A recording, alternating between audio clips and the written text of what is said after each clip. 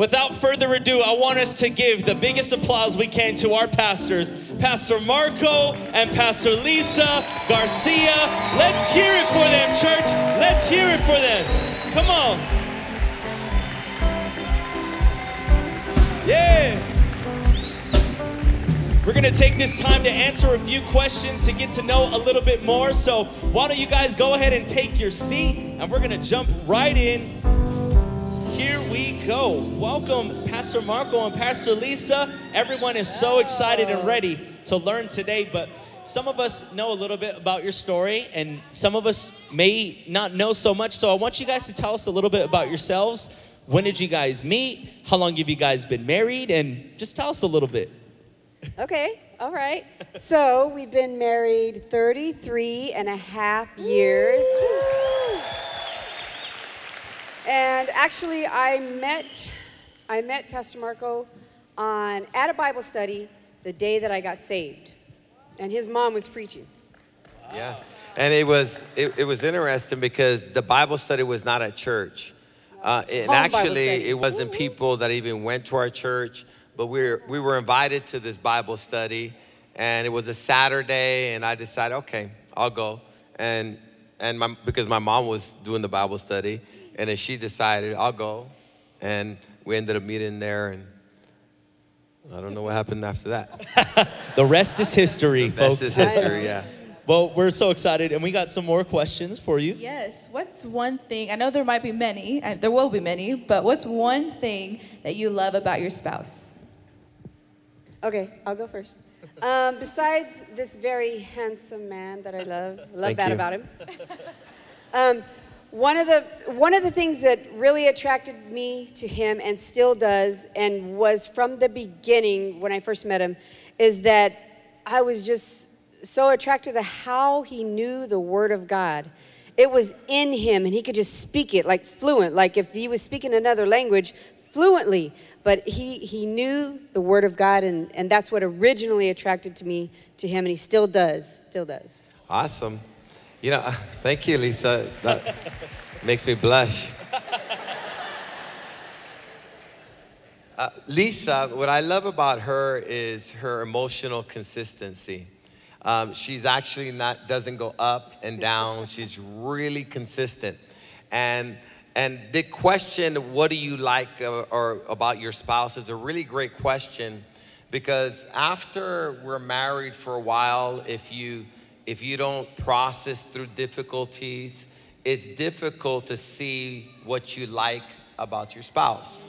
Some of us in this room, if I ask you that question or you ask that question, it'd be a lot of thought because of something that happened. And, be, and when you become bitter and you become hurt and you don't process through that properly, this is what it bl- does it blinds you to the good in your spouse.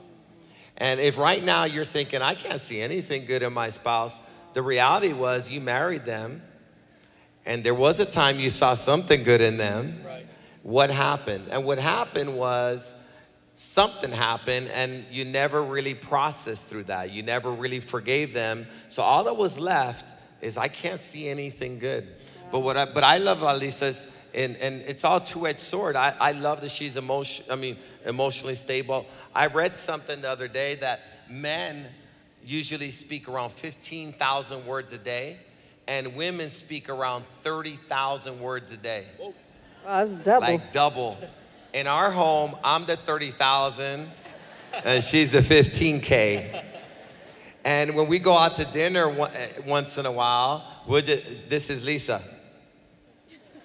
I go, what's going on? Nothing. And that's the conversation. Uh, and that's just the way, that's her makeup, but at the same time, it's that's what keeps her emotionally stable. That she's not up and down. And there's times that I want to just celebrate and I want some excitement. I go, "How was it?" And she goes, "It's good."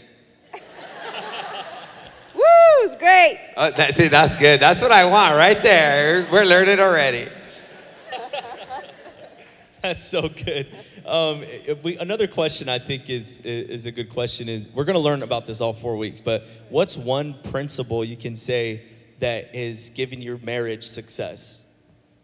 Okay. Um, I, I mean, there's obviously a few, but I want to mention one today.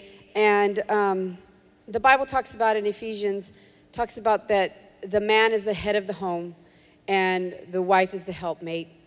And so for wives, how many wives do we have out there? I always like it. I always like it because the girls go, woo! See? I have emotions. Anyway. That's what we want at home. Let's try not. So you may not like this word though. Um, submit.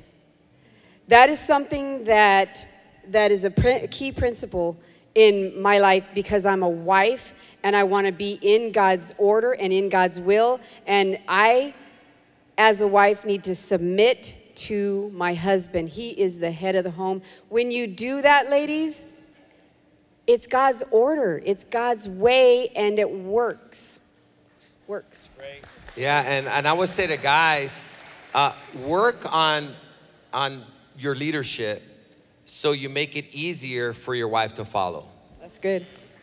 And, and you become a greater leader when you're a greater follower of Jesus. Uh, there's a statement that Paul said, Follow me as I follow Christ. And that's the idea.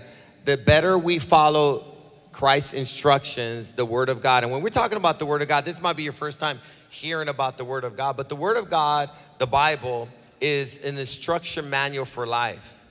And anybody that teaches success principles, whether it comes to relationships or finances or, or, uh, or forgiveness or anything that has to do with success in life, the principles are found in the Bible. That's true. And the better I follow those instructions, I, I learn them and then I live by them. This is what happens. My life becomes more successful. And so leadership starts, and we covered this about leadership. Great leadership starts in the home with personal leadership. And the more I allow myself to be led by the scriptures, the easier it is for my wife to follow. But if your husband is not there, ladies, you, you follow and you allow God to lead still through your husband. And understand this as you're trusting God, God's gonna take care of you. And your job is not to take, make sure the results work out. Just follow God's instructions. So. And at the end, it will work out for you. And I'll tell you this Yes. anything Liza wants, she gets. It's just like she's won me over. And I'll, t- I'll say this as a guy, there's nothing more attractive to a guy than a woman that's submissive. It's good. Come on, clap for that. Where the That's guys, great. come on, say amen, guys. Amen. Amen. So, Pastor, this is um, Marriage Challenge 2023. We're finally here. For some, this is our first marriage challenge. Uh, others may be coming back. Some people maybe are have had a great long marriage. Others um, need to work it out a little bit. But I want to ask you two, or ask you, Pastor Marco, what's the goal for these next 30 days? What's the goal of Marriage Challenge? Okay, so we're gonna work on relationship and relationship skill for 30 days. And, and some of us have a good marriage, and the goal would be that you end up with a better marriage or a great marriage at the end of 30 days.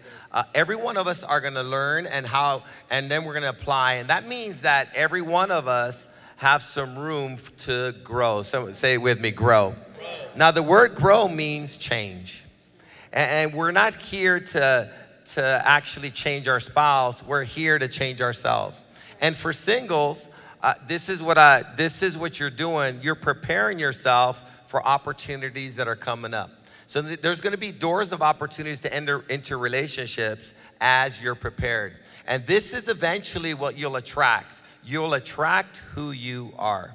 So stop looking for the right person and become the right person. And when you're the right person, you'll attract the right person. So good. That's so good. So here's what we're gonna do. Um, we're gonna do something very cool right now. We have some questions in the audience that Pastor Marco and Pastor Liza have not heard yet. They haven't heard, so we're gonna get some raw answers. We did this session number one this morning at 9 a.m. And th- again, these are some great questions and some great answers. So I'm gonna go ahead and take it over to Pastor Armando, who's right over here in the audience, and he has a question right Hey, now. Pastor Chris, we're here with Melissa. Melissa, what's your question for Pastor Marco and Liza today?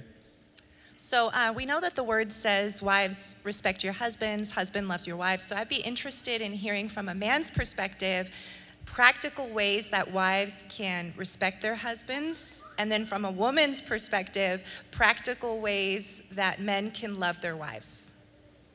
Great question. Great question, Melissa. Wow. Okay. Practical way honor and respect your husband, love him. Don't nag. Very practical. Don't nag. Don't be a nag. Don't com- be a complainer and a nagger, one that is constantly nagging and do this and do that, and you didn't do this and you didn't do that, and you and you and you and you. Don't do that. And, and I would say, just to piggyback on that, don't compare your husband to another guy. Oh, so good. So good. It's very important that you begin to appreciate what you do have. And if there's one, if there's just even one quality that's great, keep mentioning that Focus quality that, yes. and feed his ego. Yes. There's one thing a guy wants to know, and, and I'll tell you this I, I, I could have the whole world against me. I'm good with that. I could fight the whole world, but I want to come home to a teammate. So it's really important for me to have my, my greatest supporter in my home. And, and ladies, you could do that, and that's, that's a practical way. Um, loving, loving my wife. Is that what you said? Next one? How, how do you love your wife? Uh, loving, loving my wife is laying down my preferences for her. I, I need to be aware. I need to be aware. One of the greatest ways I could love my wife is through the words I use over her. And I think what happens with most men, most men are, are, are short, and what I mean, not short in stature, what I mean is short in temperament. And that means we could be edgy, we could be quick, and, and, and, and I need to know my wife, know who she is, get to know her. And part of it is just listening. Listening, just, okay, honey? Yeah, because guys are Mr. Fix It. They want to listen to fix, listen to give you an answer. So that's that's good. And, and I, I think the other way I could love my wife is, is by being, as me, as I, I could be a spiritual leader. And I can that's say, really good. baby, you're in a safe place. I'm gonna take care of you. And I tell her, and I could tell her, I love you. And I, practically, I tell her, I love you. And I, I tell her, I love you all the time. And guys, sometimes we don't say it, and women need to hear it. And you'll be saying, well, she ought to know I love her. I go to work every day. She ought to know I love her. I'm here.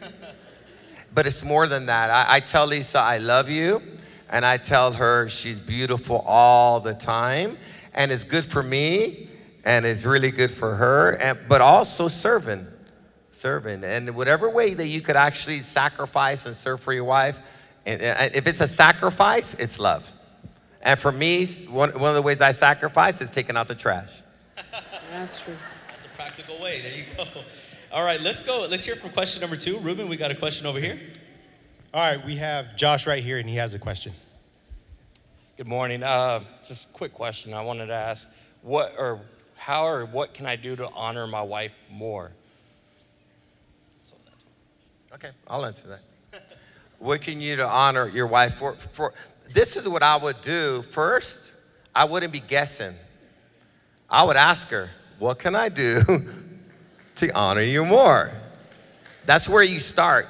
And and and and I and she might at the beginning not, not peg it, but that's the that's the beginning of the conversation. Say, honey, I really want to honor you more. What can I do to honor you more? I know you're busy. Be understanding with her. Um, also, uh, appreciate what she does. Say it, honey. I just appreciate that you keep the house clean. I love it. Thank you so much. And, and, and just start saying that, appreciating her, asking her what it, what can, what can I do to honor her, her. But I would also say this: the greatest way that you could honor her, and, and I'll go back to this: be a man of God. Honor God. And if you honor God and she could trust you as a man of God, that's the greatest honor and respect that you could give her. It's really good. And also, be, if you have children, be there for the kids. When you, as a, as a woman, um, when you really love her kids, you're really showing love to her too. Great great answer. Awesome. We have one more, Chris, Pastor right. Christian. Basin, go ahead and sh- stand up. They've been married a year and a half, he said, so he's excited about that. Congratulations. So my question is, how can I communicate my like feelings and emotions with my wife better instead of just like pushing them down and bottling them up? Great question. Okay, very good. So you, want to be able to communicate with your wife better. I think what you're going to have to do is set some time aside to that because it's not going to naturally happen. It might be a little awkward at the beginning, but but I think you need to talk. You need to begin to express your emotions.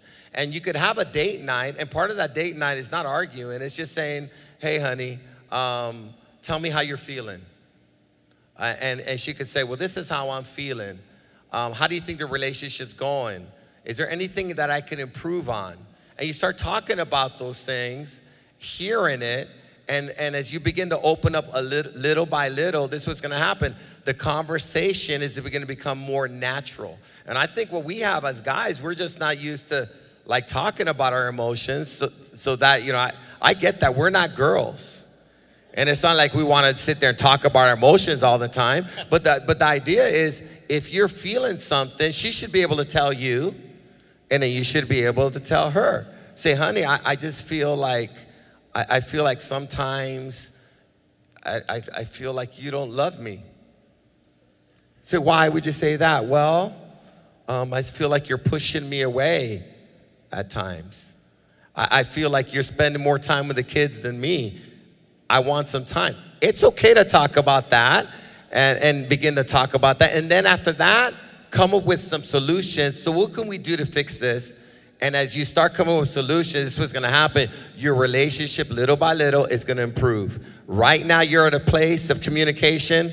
If you keep working on your communication, a year from now, you're gonna be in a better place. Two years from now, you're gonna be in a better place. And then four years from now, you're just gonna read each other's minds like, I already know what you're thinking.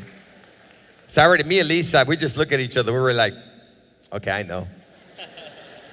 and she knows too. Okay, so begin to talk about that. Ask questions on your date night. And, and in the book, there's actually some, right. some, some books, some questions that you could ask to begin to spark conversation. So look at that book, it'll help you to spark some conversation as well, okay? Awesome, good job. Awesome. Thank you for those You're doing questions. it right now. You're, you're already way ahead of the game, That's even asking that question. That's right. Well, speaking of the book, um, if you have your book on you right now, I want you to go ahead and turn to page number two. And what we're gonna do in this moment, if you're a married couple, we're gonna go over the married commitment agreement. And if you did not get your book yet, um, you still have a chance to do that after service. But what I'm gonna do, I'm gonna go ahead and read through this commitment together. And um, we're gonna go and see what it looks like. And at the end, we're gonna be able to sign this right now. So it says, We, and you'll put your names in, Christian and Yesenia, that's what we'll put, commit ourselves to invest in our marriage by coming together to do the following. Now, here are the seven things we're committing to. Number one, attend all sessions together as a couple. You made it to session number one. Give yourselves a round of applause. You got that one done. Number two, write down at least five positive things about my spouse and share them with each other during marriage and relationship challenge. Number three, have a date night once a week. Have go on a date once a week. Number four, this is a popular one. Have a time of intimacy at least once a week. Someone say, come on, somebody. There we go. For the married couples. If you're not married, don't say that. Number five, Number five, never go to bed angry and forgive one another. We're gonna talk about forgiveness today, and we'll talk about it a little bit more next week. Number six, complete all assignments in marriage and relationship challenge workbook. We went over it earlier today, but this work has a lot of great assignments for us.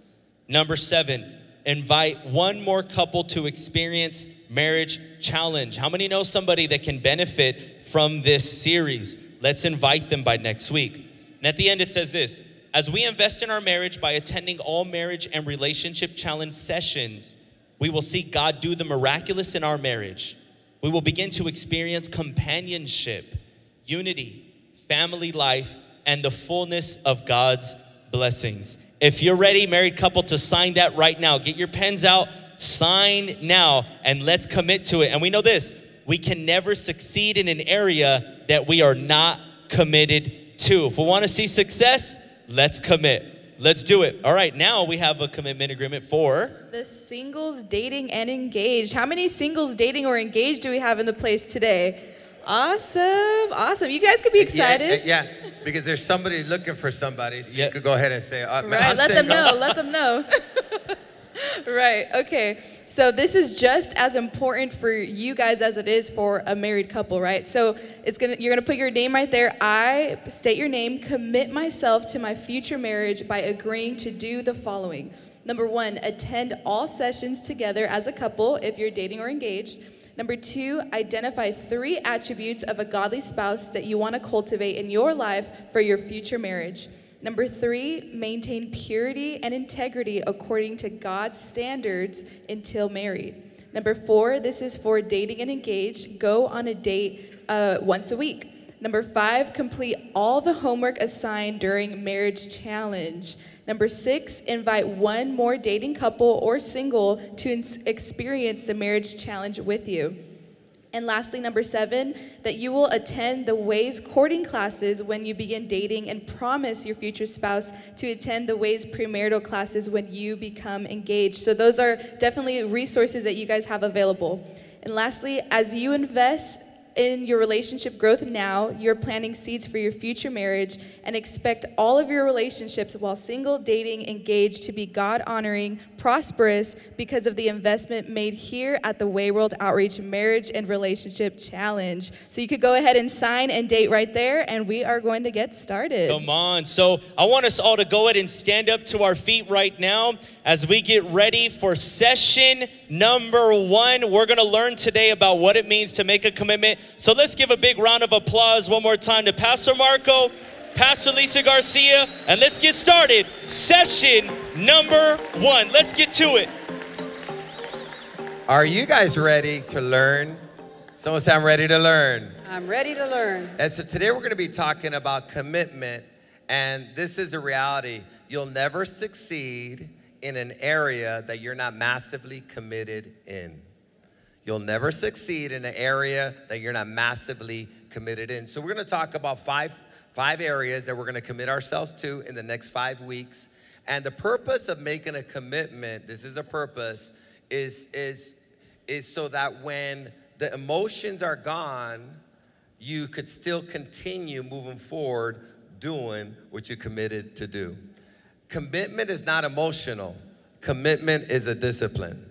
You're making you're giving your word to God and is what's happening. You're giving your word to your spouse, you're giving your word to your future spouse, and this is what you're gonna do, whether you feel like it or not. You're gonna learn how to just do what you've committed to do. And this is what's gonna happen. You're gonna start getting the results of the committed. How many wanna get some success in your life? Okay, you may be seated. Yes. All right. So, first, right off, we want to go over the word commitment. It means staying loyal to what you said you were going to do long after the mood you set it in has left you. Right? Staying loyal to what you said you were going to do long after that feeling, that mood that you set it in is left, is gone, right? There's a quote, and it says, There's a difference between interest and commitment. When you're interested in doing something, you do it only when it's convenient. When you're committed to doing something, you continue even when it's difficult. Say with me, I am I am committed. And that's why every marriage starts off with these real strong commitments for better or for worse, in sickness and in health. And the reason is saying that because in every relationship you'll have some good times and you'll have some bad times. There might be some sickness, there might be some losses, there might be some financial problems, and what's gonna get you through that? The only thing that's gonna get you through that is the commitment. commitment. So let's talk about the five commitments. All right, commitment number one. You guys ready? Attend all sessions and do all the homework. That's a commitment. Attending all the sessions and doing all the homework. We can never succeed at anything we are not committed to. All right, so here's a success formula. Uh, write this down. Decide, make a, make a decision, commit, and then you succeed, right? First, you decide, okay, I'm gonna do that. then you commit, oh, I'm going to do this, and then you you can succeed. So that means any area that you decide to succeed in, you could succeed in if you're committed to it. Yes. We have too many people that are using the wrong lang- language. We'll try. We'll see how it works. You'll never succeed at anything that you're trying or seeing how it works. Because com- because because there's going to be times that it's going to look like it's not working. Just because it looks like it's not working doesn't mean that it's not going to work. You got to commit to it. I let's just say this. You could go to trying to go to the gym for a week and that's going to be great, but don't expect some massive improvements in one week. The only thing that might happen in the first week, you might experience a lot of pain. Sore. Now, if you're not committed, you're gonna say, This is ridiculous. I still weigh the same, I still look the same, and all, all I added was pain. Commitment gets you through the pain to get you to the place of success. Does anybody wanna succeed? You're gonna have to get through some pain to get to the success story. Yes. So the undecided and the uncommitted are also unsuccessful. We will never receive anything from God, our efforts, when we are not committed. I like this scripture, and it's in James 1 7. It says, If you are like that, unable to make up your mind and, unde- and be undecided in all you do, you must not think that you will receive anything from God, from our Lord. That isn't that amazing? If you are not decided, if you're undecided, you cannot be successful at anything that you ask because you're wavering and you're you, God says don't even think that you're going to receive anything from me. Think about this God does not help the uncommitted. Mm. Well, I need help. God says, until you get committed, I'm not giving you the resources, I'm not giving you the wisdom, I'm not giving you the help. For some of us today, until you get committed, you're not gonna see any changes. And you're scared, oh, I'm so scared of commitment because I've been hurt so many times and I'm scared to do this again. And this is what God is saying. Be committed to what I've told you to be committed to. And I promise you this I will help you succeed in every area that you're committed to. Is there anybody that's ready to start getting success in their lives? And God has said, okay, I'm gonna help you, but I need your commitment. So we're gonna have in these next four weeks, we're gonna have opportunity to be committed. This is the first week. There's gonna be week number two, week number three, week number four. Your commitment will be tested. Circumstances will come up. You might feel a little tired, or maybe if you're married, you had a really tough week and one of you just wants to quit. So forget it. It's not working. Remember, this is the first week at the gym. There's a lot of things that are gonna come up, and just because they're coming up doesn't mean that you're not growing. Before you start getting breakthrough and you start seeing uh, great advancement, it usually seems like everything's falling apart. It's almost like restoring a house. Wow. If you're buying a fixer upper, you know what you do? First step, demolition. Wow. And there's some things that need to be like, okay, we have to tear this out. But at the end, if you stay here for the next four weeks, by the time you're done, I guarantee you this, your house will not look like it was when you first started. I want to take a look at this picture. Let's see if they have it over here. Okay, when you start your marriage, this is what you start off with. Aw, wah, wah, wah. You get a fixer upper. I know when you get married, you think you married your, your Prince Charming, but the reality is you just married a fixer upper. And it's the same thing with your wife. I know, I know she's beautiful. She looks so beautiful in that wedding dress, but she's still a fixer upper. And the idea is what you put in is what you're gonna get, get out. It's, it's an investment. Say, with- say with me. It's gonna take some work, work and it's gonna take some investment. in investment. But if you keep working at it, this is what's gonna happen. You'll have this. Oh, You'll have a model home. nice. Every person has potential. Every marriage Yes. has potential if So you're true. willing to put the work in. Come on, just give praise for that because So it has potential, but you gotta put the work in. Thank you, Lord. I would say this statement the amount of effort you put in will determine it will determine how much you get out of it. What you put in will determine what you get out. Now you might be saying, I don't want to do the homework. Well, that's the idea. What you put in is what you're gonna get out of it. Mm. If you put in a little, look what the scripture says here. It says in 2 Corinthians 9 6, the man or woman who plants a little bit will get only a little bit from it. There's some of us today, they're gonna get massive amount of information today that's gonna change your relationship, change your life. And that's the idea. You're putting in more. That means you're thinking about it. You're writing down notes and you're saying, I'm going to get this. Is there anybody here that today says, I'm gonna get something out of this? I'm gonna be transformed. Yes, that's so good. But it says this the man who plants much will get much from it. It's very simple. What you put in is what you're gonna get out of it. And if you do all the homework, you show up for the four sessions, and you and and you read the material, and you go on the, and you follow the commitments. This is what's gonna happen. You're gonna get a lot from this, and it will change your life, change your family, change your future relationships. I'll even say this: it's gonna change your children. wow, that's so good. Let's go to commitment All number right, two. Number two, immediately, immediately apply everything that you learn. Only those who learn and apply will experience happy and successful marriages and relationships. Let's go to this scripture. Luke 11 28 says, But Jesus said, Happy are those who hear God's word and obey it. So it's one thing to just hear God's word, but apply it, learn it to apply it, right? So we don't just learn, we don't, we're not here just to hear what God has to say and then kind of uh, weigh it out and say, mm, I don't know. No, when, when we hear God's word, it's our responsibility to immediately apply what He has spoken. Question Do you have married couples? Do you have a happy marriage? Are you happily married or unhappily married? Now, if you, someone said, I'm happily married, good job, guy. That- That's awesome. Now, now, if you're unhappily married, you don't need to change your spouse. All you need to do is do things differently. And this is what the scripture is saying. I'm gonna show you how to have happy relationships, satisfied relationships. I'm gonna show you how to overcome your obstacles, your challenges, and your difficulties. I'm gonna teach you, and this is what you're gonna do. You're gonna apply it, and when I teach you, and you apply it, it's gonna lead to victory. It's gonna lead to restoration. It's gonna lead to transformation. It's gonna lead to emotional healing. It's gonna lead to happiness. Does anybody want happy relationships? You can have it if you hear it and you apply it. Hear it and what?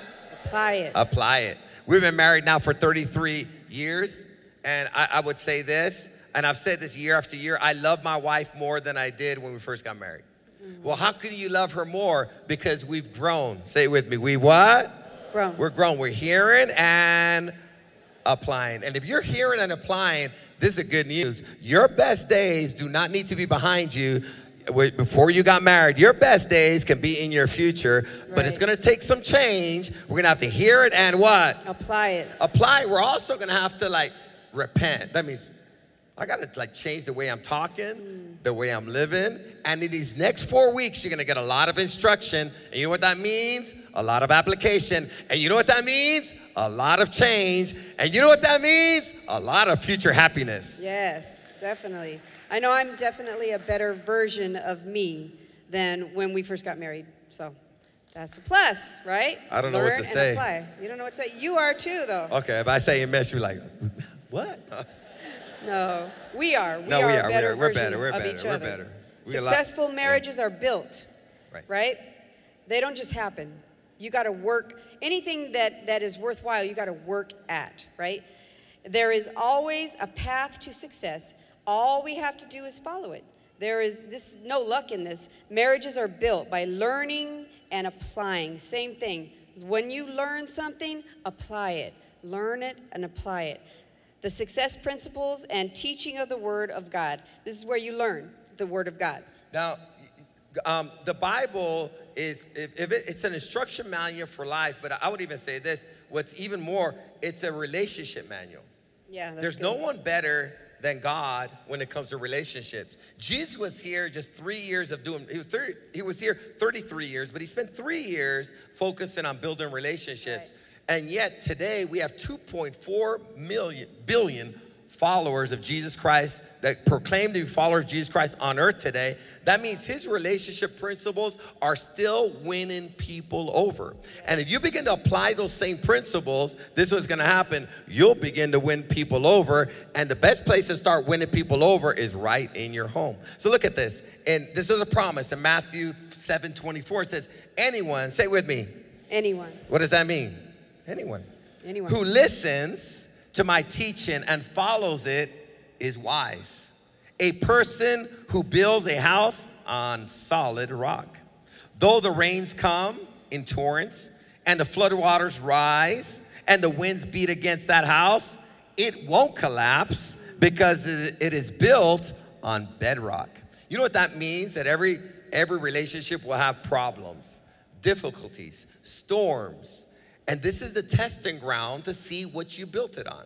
But if you've built your marriage on the principles of God by hearing it and applying it, this is what it's saying. Your marriage, your relationship will last. It'll last through the difficulties. And by the time you're done, you're going to be saying, We went through the sickness. We went through financial problems. We went through hurt. We went through betrayal. We went through difficulties. But we're still standing because we Yes. chose to practice the principles of God. Is there anybody here that's more than a hearer? They're a doer and makes you wise.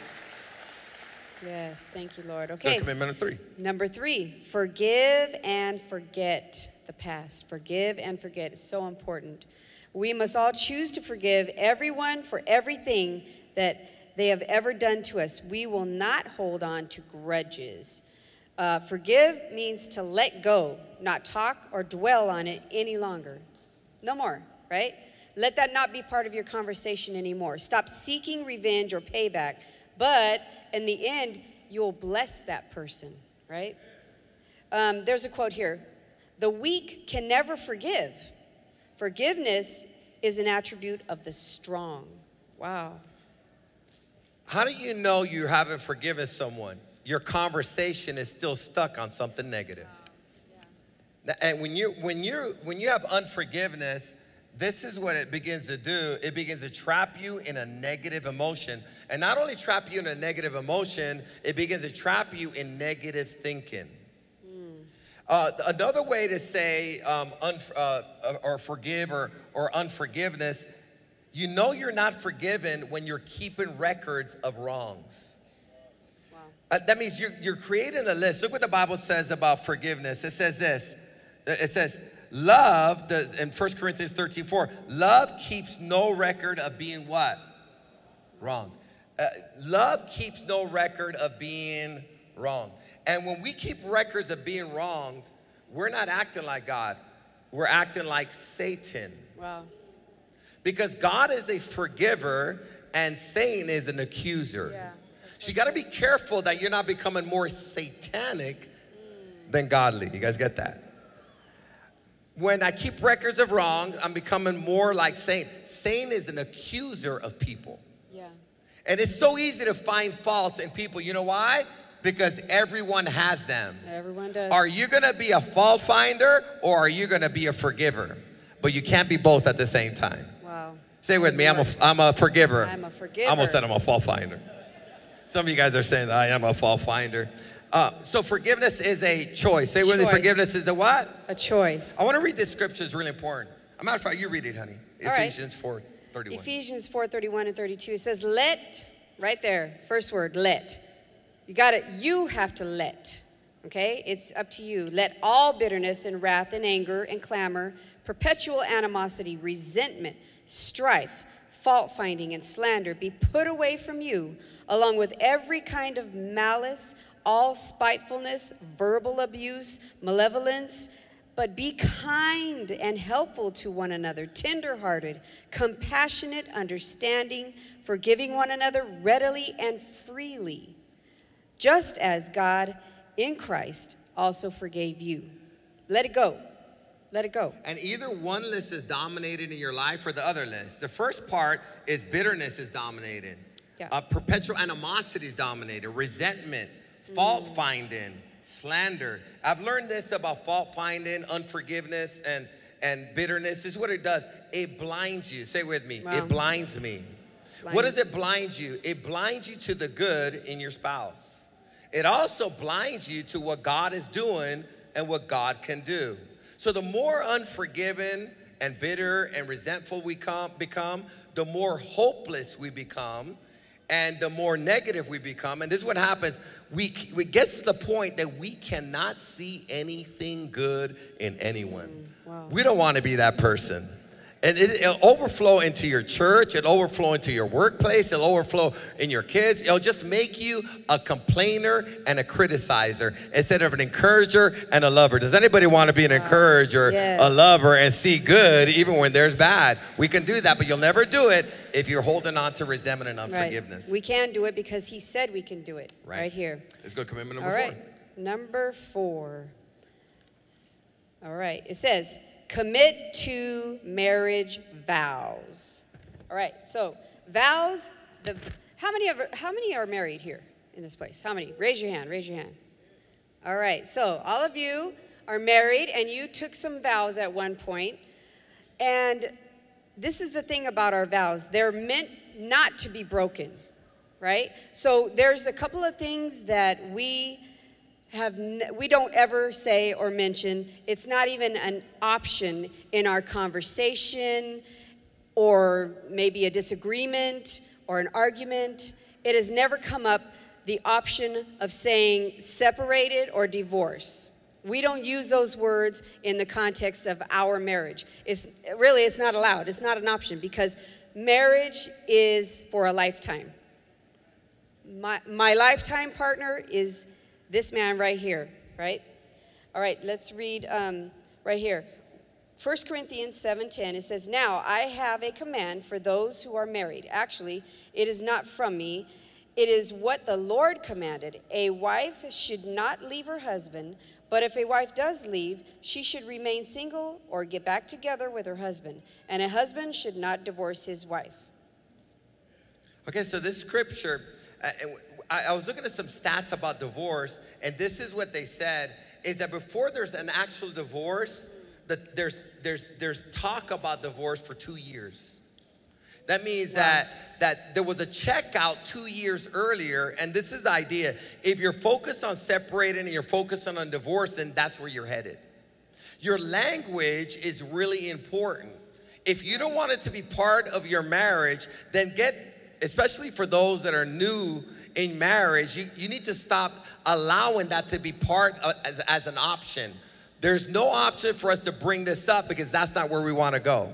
If you're here and your marriage is on the rocks, there's been a lot of checking out in the past, but it's not too late for you to check right in and even if for four weeks you could say something like this let's stop talking about divorce and separation for four weeks and let's focus on restoring, let's focus on changing, let's focus on forgiving. And I'm gonna tell you this if you're focusing on building, you're not gonna be focusing on destroying. But you can't be focused on two things at the same time. If you're focusing on your future, you're not focusing on your past, but you can't be focusing on your past and focus on your future. All we're saying for the next four weeks, let's practice this principle and say, well, we're planning to get divorced in a week. Put the paper aside, let's work on it for the next four weeks, and let's see what comes out of it as we work on it. And I'll guarantee you this if you're applying the principles of God, by the end of the four weeks, you're gonna think differently, you're gonna feel differently, Yes. and your relationship is gonna be transformed So because of what you've applied to your life. Yes, Awesome. that's so true. And the last commitment, number five, is commit to following Jesus. And this is so important. Everything we need to succeed in life and marriage comes after a commitment to follow Christ. And I could tell you that from when when I did not know Christ as my Savior till when I do, when I have, it's made a complete difference. Um, I was one way, and then when I began to learn the Word of God and what His plan was for my life, and what He says about me, what He says about everything, it says it says that everything we need to succeed is in His Word, and it's total total transformation. So following Christ is going to be the most important thing, first of all, right off. Um, 2 Peter 1 3 says, Jesus has the power of God. His power has given us everything we need to live and to serve God. We have these things because we know Him. Jesus called Him by His glory and goodness. Awesome. So we receive everything that we need for relationships, for life, to succeed, to overcome. And this is why we can say this statement as believers I can do all things through Christ who strengthens me. Right. Can you get through it? Can you get through the difficult time? Can you get through the temptation? Can you overcome the betrayal? Can you forgive at the level you need to forgive? I know it's very hard, but I do know this it's always better than to forgive than to hold on to bitterness. Because until you forgive, you're trapped in a prison.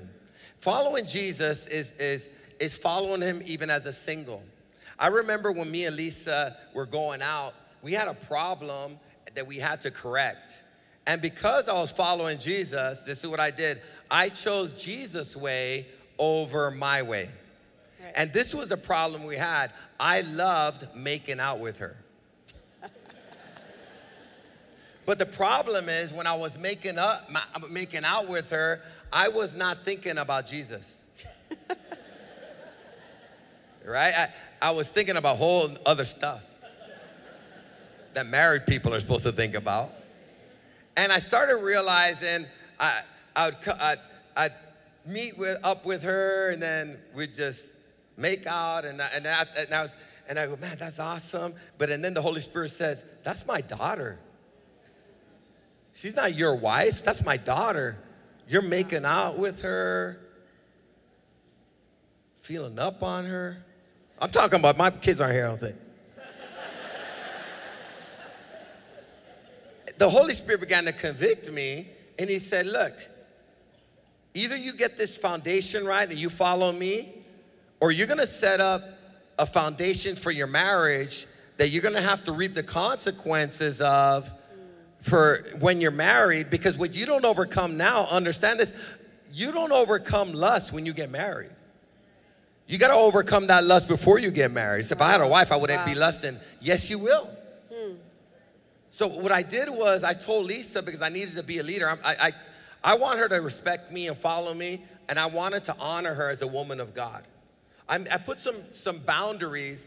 Also, I would not leave. I would never be at her house past 10 o'clock, even though her parents lived at the house. As soon as it's 10 o'clock, I'll be jamming because I didn't want anyone to see my car in front of her house at 12, 1 o'clock in the morning because I guarantee you they're not thinking they're having Bible study.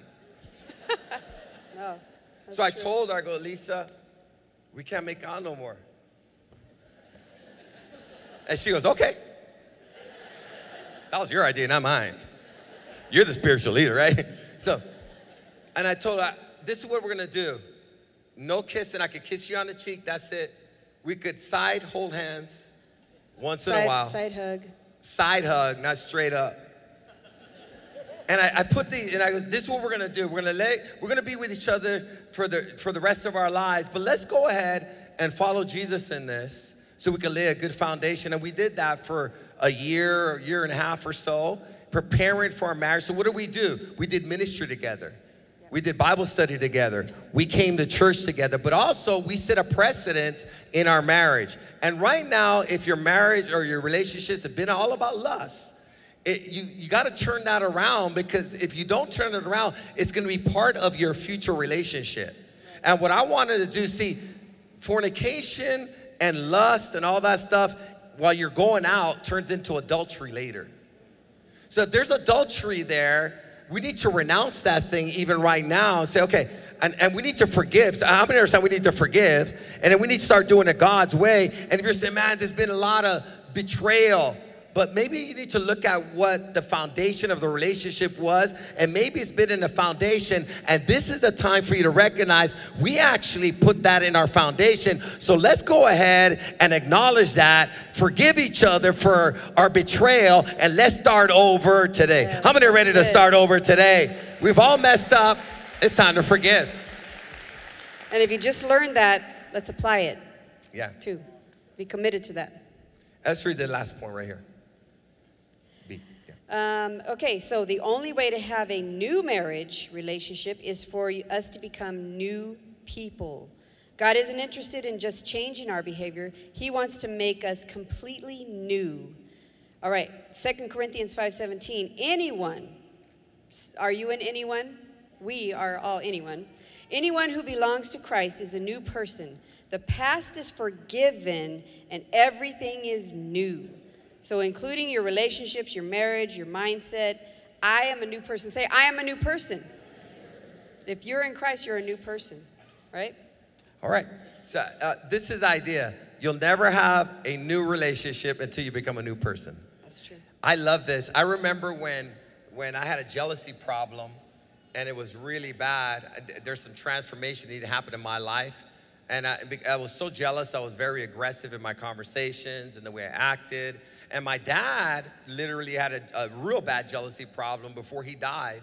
Uh, he, he would be so jealous that he would actually beat my mom, put guns to her head, and accuse her of things that he was basically doing. And it was very abusive. I saw that when I grew up, and I, and I said, I never want to be that person, but I found myself that person. And what I needed to do at that point was acknowledge, Marco, you got a real serious problem.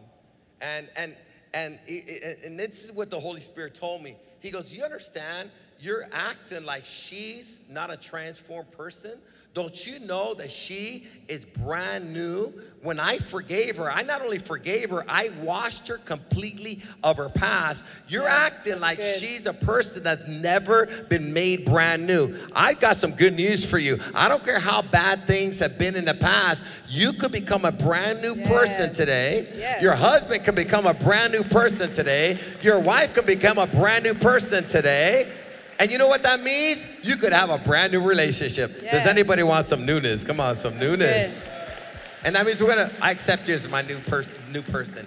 And I, I went to Liza and I go, Liza, I am so sorry for accusing you of your past. You're not that person anymore. And I, and ask you to forgive me. And I accept you as a woman of God that you are. And from now on, I will treat you who you are in God's eyes. I love you. Right. And that was a decision I had to make. You guys understand that? Is anybody ready to start brand new today? Come on, start brand new. Now, what we're gonna do is we're gonna do a few things that we could apply. Number one, if you need to forgive someone, it's time to forgive. When's the right time to forgive? Now. Well, I don't feel like it. Remember, forgiveness is a choice, it's not a feeling. Uh, well, they don't deserve to be forgiven. This is what forgiveness is forgiven the inexcusable because God forgave you of the inexcusable. And when you do that, you could actually start over. Today's your day to start over. Wouldn't it be great to leave the past behind here? And you could walk out now with all that burden, all that hate, all that anger, and all unforgiveness. And you would do it because you're trusting God. So, God, if I do it your way, will it work? And God says, Yeah, try it my way. You're not putting your trust in the person, you're putting your trust in the Lord. You might think, if I forgive them, I'm letting them know it's okay. God says, no, no, you're forgiving them because I'm giving you instructions. And I, t- I guarantee you this if you do it my way, you will succeed. Your life won't collapse. It's going to be built up. Does anybody want to start building the right relationship? But you can't build on a wrong foundation of unforgiveness, bitterness, and resentment. Is, is there anybody here that needs to forgive someone? Raise your hand real quick. Is there anybody here that needs to forgive your spouse? They might not even be in this room today. They might, but there might be in there, might not. Anybody needs to forgive your spouse? Okay. It's something wrong with that. Let's do it. Let's do it. That's the beginning of God beginning to work for you. Because until you forgive them, God can't even touch them. God is saying, let me have them. Let go of it. Let me touch them. And God will touch them. The other thing, is there anybody here that you're tired of doing it your way? And you're saying, I've been doing life my way. I want to do it God's way, and I want God to forgive me. Because the beginning of a turnaround is you becoming a brand new person. You know how you come to you know how you come to God? You come the way you are. You come with your bitterness, your anger, the, the failures. We've all failed. There's nobody here that doesn't need forgiveness. Somebody understand that? And when you marry someone, you're gonna have to practice forgiving. You're gonna have to become a forgiveness master. Because every person that you're, every person that you'll ever be in relationship with, or you're gonna have, uh, you're gonna be married to will need a lot of forgiveness on their account. And that's why the Bible says, make an allowance for each other's what? Faults. Everyone has faults. If there's, if you need to receive forgiveness, say with me, receive forgiveness. And, and begin to say, I, I want to make my decision today that I not only want to receive forgiveness, I want to be empowered to live a new life. It's amazing what God will do. You come the way you are with your pain, your hurt, your addictions, your letdowns, the betrayal, the abuse you've gone through, and you're saying, God, I'm done following my pain, my hurt, my ways. Lord, I want to follow you. And this, I'll guarantee you this if you follow him, he'll lead you to victory, he'll lead you to happiness, he'll lead you to, come on, he'll lead you to satisfaction. Right now is your choice. Follow Jesus. So, those that need to forgive someone, raise your hand again. Stand up where you're at, real quick. Just stand up real quick, real quick. Stand up where you're at. Okay. I need to forgive someone. Just stand up real quick. The devil hates this part. The devil hates it because when you're ready to forgive, you know what's gonna happen? You're gonna be forgiven. Okay. If there's any couples right now that you're struggling, stand up. You're struggling. It's okay. Everybody knows you're struggling already. It's okay. Your kids know, everybody knows. Just stand up. Oh, I don't want nobody to know. Everybody knows already. It's okay. There's nothing wrong with struggling. There is a problem, is remaining in the struggle and do nothing about it. You understand? How many know this is war? If you could stand up here, you could begin to stand up out there. Anybody else? One more group. I need to receive forgiveness. I like, I forgive me, Lord. I've been holding on to resentment. I've been holding on to bitterness. I've been holding on to anger. Forgive me, Lord. I've been doing life my way. No wonder it's not working. If you need forgiveness, just stand up. You want you make you want to make a decision to follow Jesus. Proud of you. Proud of you. Come on. We got some young men, young ladies. That's awesome. I love it. I want I want everybody to stand up with them. And those that stood up, come up here real quick because I want to. Me and Liza want to pray with you.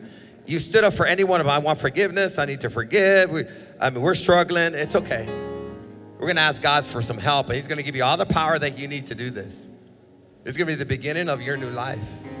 Come on, let's give the Lord a hand. Come on, church. We're believing that right now, as, as you're making these choices, even as if you're single, you might need to forgive your mother, you might need to forgive your father. And God is saying, until you get that right, I can't even release somebody to you because there's a problem. You're going to hurt them. I need you to heal you so you don't hurt them, so you can love them. Come on, we're still coming forward. Let's let's press in a little further this way. I'm proud of every one of you. If your husband or wife's not here, don't worry about it. You're one already. What happens to you is going to happen to him or happen to her. Okay? Are you ready? Come on, they're still coming. Let's give it a little second. Just come on, let's make a little more room. Let's push in just a little bit more here. Church, are we committed? Come on, just four, three more weeks. How many more weeks? Come on, three weeks. Come on. You used to go to the you used to go to the casino three weeks in a row. You used to go to the bar three weeks in a row. You used to go to your drug dealer three weeks in a row. Come on. You used to go to the baseball game three weeks in a row. Let's show up to church three weeks. I guarantee your life's gonna be transformed. We love you. You know, when when I when I me and Liza spent some time, you know, just coming up with this lesson. And no matter how much we deliver it, we feel like we have done better. And I'll tell you why. It's not because we want to we want to just do it better for the sake of doing it better. We just want to make sure that we're as impactful that we can be. We love you. And and our reward, and this is what we've given our lives for, is see your lives transformed to what it's supposed to be. If you're depressed and you're angry and you're upset and you're full of unforgiveness and, you, and your relationships are full of misery, it's never been God's will. And I wish I could be coaching with you like walking with you all day long, say, hey, no, no, let's do it this way. Oh, this is better. Oh, that was awesome. I would love to be able to coach you that way, but I got some good news for you. Right now, when you receive forgiveness and give forgiveness, the Holy Spirit yes. is going to be coaching you from here on out. Gonna, I can't be there, but the Holy Spirit's going to be there. And he's going to say, hey, hey, hey, hey, hey, hey. Lower that voice a little bit. And then you're to like, man, I never heard that. Huh? And that's God's Spirit. Okay? You're to hear God's voice. He said, I never heard God's voice. Yes, you have. Why are you up here? I guarantee you, if someone would told you, you know, you're gonna go up there before service ends, like, I won't go up there. Ain't nobody telling me what to do. But but something happened. Well, you started hearing this. You said, wait a second. You started self-reflecting, you said, oh, I need to forgive, or I need to receive forgiveness, or I need to start loving, or I need to start doing it God's way. I've been doing it my way. No wonder I've been so miserable. Okay, and this is what we're gonna do. We're gonna receive forgiveness, and we're gonna what? Give it. We're gonna receive it and what? Give it. Give it. Okay. And how many times you should forgive? Just keep say say with me. I'm a forgiver. That's it. Uh, say this. I am not a fault finder. Because you're gonna be one or the other. And if you're a fault finder, I know this. You're gonna be miserable. Because the problem is when you're a fault finder, not only do you find fault in everybody, like no one's like all you all hypocrites. But this is how you start thinking about yourself. You start thinking, I'm not worth anything either. And you start pointing all your faults. Some of you right now needs to break up what the devil has been accusing you and allowing you to and using you to be an accuser and end that relationship. Because it doesn't even allow you to celebrate you're here today. You're making some right decisions. You're not all bad. Come on. You're valuable. God loves you. You gotta be able to accept that. Someone say accept god's love. Are you ready to do it god's way? Okay. Now someone might ask you for forgiveness right now. Just forgive them because if you don't forgive them, it's only going to get worse. Let it go. Well, eh, I'll forgive them when they deserve it. I'm telling you, they never will deserve it. It's just going to get worse. If you think it's bad now, hold on to unforgiveness. See how bad it gets. Because you know what's happening when you have unforgiveness? Satan is your pastor. It just rules your life. When you forgive, Jesus is your pastor. And leads to everlasting life. Okay, are you ready? Um, couples, I'm gonna give you, I'm gonna, I'm gonna give you a second. If right now you need to forgive each other, um, I'm gonna lead you in a prayer first, and, and, and couples right now, because I want to just get into all this what we need to pray for. But if you right now you need to forgive your spouse, I want you to look at your spouse right now and look them in the eye. Please, please, you can continue playing music, but um, and I want you to say, I. If you need to ask forgiveness, say, I forgive me for, and say what it is, and let's end it. And then when your spouse asks you to forgive them, this is what you need to do I forgive you. Say it with me I forgive you. So let's take just one, just 30 seconds right now and just say it. I forgive me for, and just say it really quick. It doesn't need to be a long, exasperated conversation, but we're gonna allow the Holy Spirit right now to work on your heart. The, a miracle's happening right now. And as you're saying this, the devil's being kicked out of your mind, out of your family, out of your out of your emotions right now. There goes. It's happening right now. It's happening right now. We come against every spirit of unforgiveness, bitterness, spiritual blindness, criticism, anger, slander. We break it now. Shame is broken now in the name of Jesus. All right. Awesome. All right. Forgiveness. Receive it. Okay. Repeat after me, everyone. Say, Jesus, I ask you now to forgive me of all my sins. I make a choice today. I make a commitment to follow you for the rest of my life. Save me. Make me into a new person. And I choose right now to forgive everyone that has hurt me. I even receive forgiveness for my own sins and I forgive myself. I let go of all bitterness, anger, resentment, payback. It's done. Fill me now with your love. From this day forward, I am a committed follower of Jesus Christ.